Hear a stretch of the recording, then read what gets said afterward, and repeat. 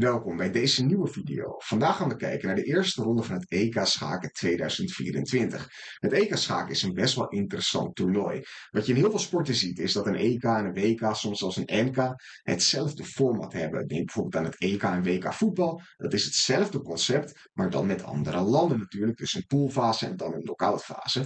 Bij het schaken is dat anders. We gaan binnenkort het WK Schaken zien. Dat is een tweestrijd. En het EK Schaken dat is een Zwitsers toernooi. Er doen meer dan 400 spelers aan mee. Het duurt 11 rondes en het concept is als volgt. Als jij bijvoorbeeld de eerste partij wint, dan moet je in de tweede ronde spelen tegen iemand die ook zijn eerste partij heeft gewonnen.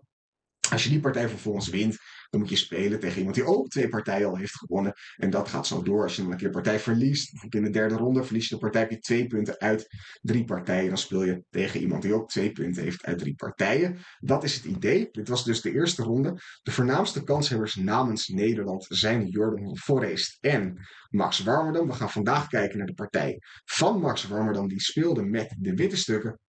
En zijn tegenstander was Alexandra Maltsevskaya. Ik hoop dat ik dat goed uitspreek, waarschijnlijk niet. Maar laten we gaan kijken naar de partij. Max Warmerdam speelt met de witte stukken en opent met de zet E4. We zien een Carol Can op het bord met C6 en D5. En we zien de zogenaamde Advanced Carol Can, waarbij wit de pion naar voren schuift, de ruimte inneemt in het centrum.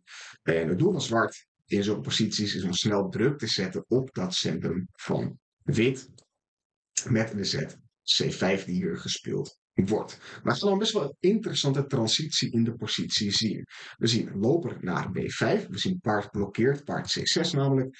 Pion pakt pion en loper slaat de pion op c5. En dit lijkt een soort blunder, want de pion die was verdedigd door dit paard. Kan het paard deze loper slaan? Het antwoord is dat kan wel, maar zwart kan materiaal terugwinnen door dame a5 te spelen, en schaak te geven op de koning en de loper aan te vallen. En er is geen manier om beide te verdedigen. Wat gebeurt in de partij is dat wit eerst slaat. Zwart slaat terug. En hier kan je alsnog de loper slaan, maar heeft zwart nu alsnog de schaak. En wint daarmee niet de loper, maar het paard. Hetzelfde concept natuurlijk. Je, je geeft een schaak, je valt een stuk aan. Wit kan niet beide verdedigen, dus is wit geforceerd te verdedigen met C3 en geeft daarmee het paard op. Dit is allemaal onderdeel van openingstheorie overigens. Oké, we zien paard naar E2. Het paard naar D7, sorry, E7 en een rokade van beide spelers om de koning in veiligheid te brengen. We zien de zet loper naar E3 om de dame aan te vallen en het laatste stuk in het spel te brengen. De dame naar B5, B4 wordt gespeeld en dit is een belangrijk moment in de partij. Zwart moet hier namelijk eigenlijk de set loper naar D3 vinden. Het is zo dat je daarmee in een tactische lijn terecht komt. Wit speelt het paard naar D4 om het tegenhaal te beginnen richting de dame. Uiteraard valt de loper hier de toren aan, maar kan niet geslagen worden, dan verlies je de dame.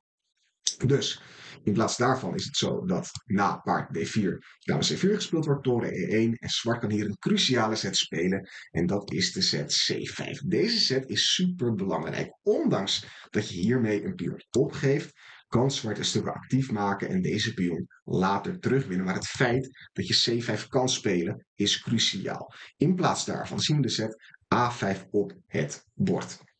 We zien loper naar c5 en dat voorkomt dat deze pion naar voren geschoven kan worden. En dit wordt een zwakheid in de positie. We zien toren naar e8. We zien paard naar d4.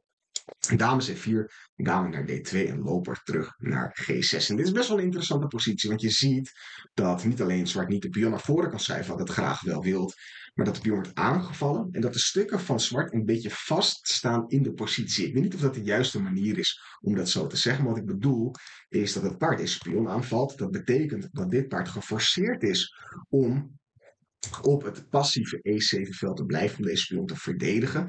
En ook de dame moet hier eigenlijk op C4 blijven, want het is zo dat wit kan slaan en zwart terugslaat. En nou ja, wit in dit geval dus niet de pion kan winnen omdat de dame de pion verdedigt. Maar dat betekent dat de dame eigenlijk de ondankbare taak heeft om deze pion indirect te verdedigen. Terwijl je natuurlijk graag iets actiefs wilt ondernemen met je dame. Dus een voordeel voor, voor Max Warmer dan in dit begin van het middenspel. We zien pion naar A4, we zien toren naar C8. Om nu met de toren deze pion te verdedigen, waardoor je het paard kan verplaatsen. We zien loper naar B6. En dit is een belangrijk moment in de partij. In deze positie wordt de set pion pak pion gespeeld. Dat is bij far de meest logische set. De computer geeft aan dat de beste set is om A6 te spelen. Een set die, nou ja, ik weet niet precies wat deze set doet eigenlijk.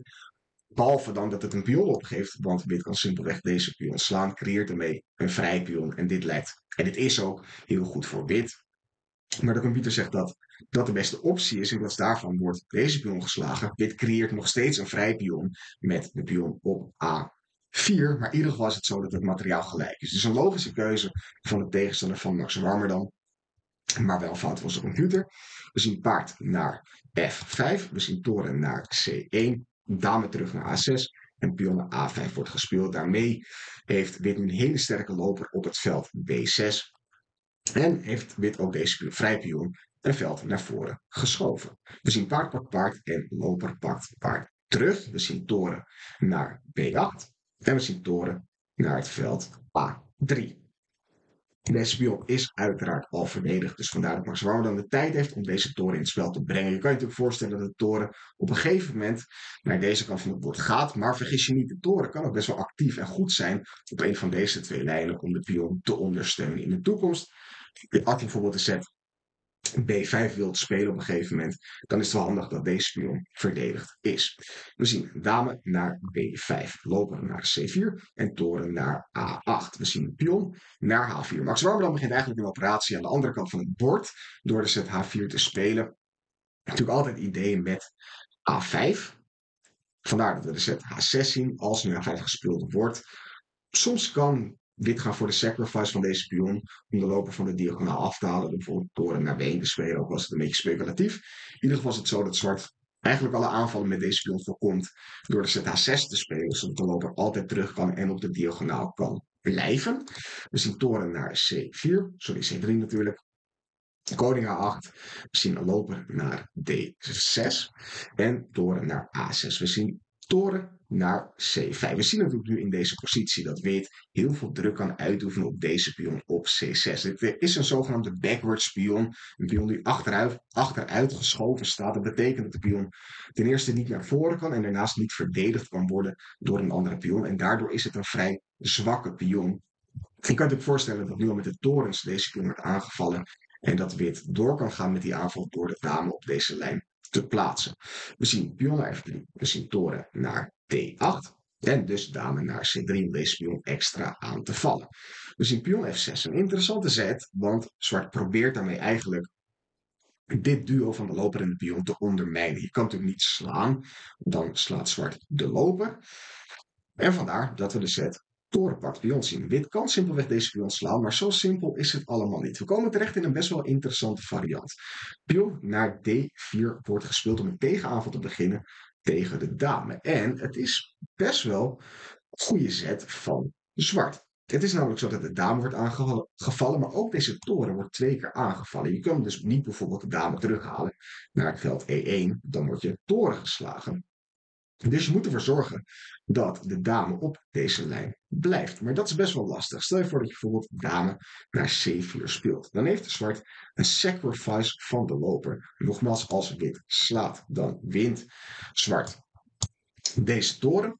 Als je hier slaat, kan zwart terugslaan. En ondanks dat wit dus een pion heeft gewonnen, is de positie nog steeds best wel gevaarlijk voor Max Warmerdam. Je hebt nu de keuze om dame C5 te spelen overigens. Dat is de beste keuze volgens de computer. Hier kan de dame niet aangevallen worden. Maar wat we zien is ook een interessante keuze. Dat is toren naar C7. Een tegenaanval op de dame van zwart. We zien dat zwart de dame slaat. Wit slaat uiteraard de dame van zwart terug. Maar wit creëert deze pion op C2. Een vrij pion die heel dicht bij promotie is. Natuurlijk, Max Warmerdam heeft een pion gewonnen. En heeft nog steeds het voordeel van deze nu twee vrijpionnen. Maar de pion van zwart is dichter bij promotie. En is daardoor een stuk gevaarlijker. En de vraag is, is dit genoeg compensatie voor zwart om de partij in ieder geval niet te verliezen? Dat gaan we zien in de partij, uiteraard in het vervolg van de partij. We zien de set A5. De loper wordt naar F5 gepositioneerd. En we zien de set koning A2, koning G8 en G4. En hier zien we de interessante keuze. We zien dat zwart de pion slaat. Max Warmerdam kiest ervoor om de pion simpelweg terug te slaan. En daarmee het materiaal gelijk te houden. Wat een interessantere of een betere optie, kan ik beter zeggen, zou zijn geweest, is echter om hier na pion pion de loper te slaan. Hier wint zwart uiteraard de loper terug. Je slaat de pion en ondanks dat zwart deze pion kan slaan, is het zo dat je eerst bijvoorbeeld de schaak kan geven, de koning gaat opzij. Hier is er al een schaakmat in vier zetten door deze set. Toren naar B8, maar zelfs als we een set teruggaan, als je bijvoorbeeld toren naar C7 speelt, is dit gewoon te gevaarlijk voor zwart. Positioneel is wit winnend, ondanks dat het materiaal gelijk is, door deze twee torens, door de vrijpionnen. Dit is uh, compleet winnend, om even te laten zien wat de schaakmat is. Als je toren naar B8 speelt, uiteraard, dan ga je voor deze schaak. De beste zet is toren naar D2 schaak. De koning kan simpelweg opzij gaan naar A3 toren A2. Je ziet al, dat, zien, dat doen computers natuurlijk altijd, maar al het materiaal opgeven. En wat je hier ook speelt. De volgende zet is schaakmat. Ook als je deze speel naar voren schrijft, dan kan je op deze manier een schaakmat geven. Dus dat zou goed zijn geweest voor Max Warmerdam. Maar in plaats daarvan zien we dus dat hij de pion slaat. Toren naar C, sorry, D1 wordt gespeeld. Het ziet er super gevaarlijk uit opeens voor Max Warmerdam. Want wat doe je met deze toren? De enige juiste zet in de positie is loper naar B2 om de toren te verdedigen. En Max Warmerdam vindt die zet. We zien toren slaat toren en loper slaat terug. Je moet natuurlijk dit veld blokkeren of in ieder geval controleren. We zien loper naar D3, we zien toren naar D7, loper naar B5 en toren naar C7. Wat best wel interessant is in dit eindspel, is dat we een eindspel hebben met lopers op verschillende kleurcomplexen. Dat betekent dat de loper van wit alleen de donkere velden kan controleren en die van zwart alleen de lichte velden kan controleren. En dat soort eindspellen zijn best wel vaak remise gevoelig. Dus de vraag is dan ook, wil je hier de torens ruilen en ook van het overige materiaal, van de grote stukken, afkomen in de partij. Max Warmerdam besluit het risico niet te nemen. Dit is winnend om hier te slaan. deze twee pionnen zijn gewoon te sterk. Ook al moet je nog wel oppassen, want als zwart al deze pionnen kan winnen, dan heb je een probleem. Maar goed, in de partij zien we dat Max Warmerdam eigenlijk voor de veiligere optie gaat. Door de torens op het bord te houden. De toren P7 wordt gespeeld. Loper naar D2 om alsnog te gaan voor die aanval op de pionnen. We zien de set D5 op het bord om de toren aan te vallen. En het doel van Max Warmerdam is simpel deze pionnen promoveren. Of in ieder geval één van beide pionnen promoveren. We zien de set B6. Max dan laat dus toe dat deze pion geslagen wordt. We zien toren naar C7. Toren naar het veld D1. Max dan besluit simpelweg deze pion te slaan. En het lijkt er heel even op als je, alsof je in de gevaren zit door deze set de schaak op de koning van wit. Maar je kan simpelweg naar G3 uh, eh, gaan en er is geen probleem voor de veiligheid van de koning. In plaats daarvan zien we de set E5 op het bord. We zien pion naar A6. En het doel is nu al simpel. De pion naar voren schuiven. En daarmee één van beide pionnen promoveren. Toren naar B2 wordt gespeeld om deze pion te ondersteunen. En dit is game over. Wat zwart hier ook doet. De volgende set is om deze naar voren te schuiven. En je kan gewoon de promotie niet stoppen. Toren naar D8 nog gespeeld worden, maar je kan alsnog promoveren. En dit eindspel is uiteraard compleet winnend. Dus een hele mooie eerste ronde voor Max Warmerdam. Die wint, daarmee gedeelde koppositie krijgt. Dat is niet heel speciaal, natuurlijk heel veel spelers al begonnen in de eerste ronde. Die hebben allemaal één punt. Ik wil nog meegeven dat Jordan van Forest teleurstellend zijn eerste ronde gelijk speelde. Maar voor nu wil ik iedereen bedanken voor het kijken van deze video. En ik zie jullie graag de volgende keer.